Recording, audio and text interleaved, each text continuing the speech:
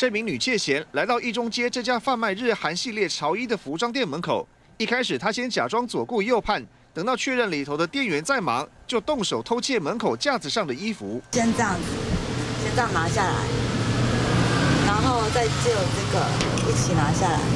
前面有一直观望，就一直在看，一直在看，看里面的状况这样。对，所以他也是在看店员有没有在看他啦。当然啦。女子先偷上衣，然后偷裤子，可能是太急了，连裤子的裤夹也一并拿走。前后大约一分多钟，店家事后发现挂在店门口的一整套衣服遭窃，调出监视器画面，才发现原来窃嫌是这名女子。这样放在放在他，因为他另外还拿皮带，他拿了就走了，这样。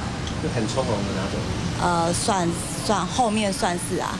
女子在衣服偷到手之后，还用随身的纸袋把衣服遮住，从容离开。